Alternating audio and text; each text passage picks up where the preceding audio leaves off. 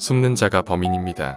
지난해 12월 1일 해외로 출국한 송영길 전 민주당 대표가 전당대회 돈 봉투 의혹에도 불구하고 귀국하지 않기로 했다고 합니다. 자신과 무관하고 결백을 입증할 수 있다면 귀국을 미룰 하등의 이유가 없습니다. 송 전 대표가 귀국을 미루는 이유는 범죄 의혹을 은폐하기 어려운 상황이라고 보는 것이 합리적일 겁니다. 지난해 10월 1일 특가법상 알선수재 혐의 등으로 전격 구속된 이정근 전 민주당 사무부 총장은 자신을 향한 검찰의 수사가 진행되자 모종의 유착 관계에 있던 송영길 전 대표 등 그 측근 들과 함께 수사 대응 방안을 논의했을 것으로 보는 것이 합리적입니다. 이정근이 혼자 죽을 수 없다면서 송영길에게 반협박성 구명 운동을 했다고 보는 것이 상식 아닐까요? 그런 와중에 이정근 전 부총장이 전격 구속되자 위기의식을 느낀 송전 대표가 해외로 도피성 출국을 하게 됐고 바로 그런 이유로 미국을 미루고 있다고 볼 수밖에 없습니다. 그렇지 않고서야 평생을 몸담아 온 민주당에 간판을 내릴 수도 있는 대형 악재의 전직 당대표로서 이토록 안이하게 처신할 수 있겠습니까? 이재명 대표는 더 이상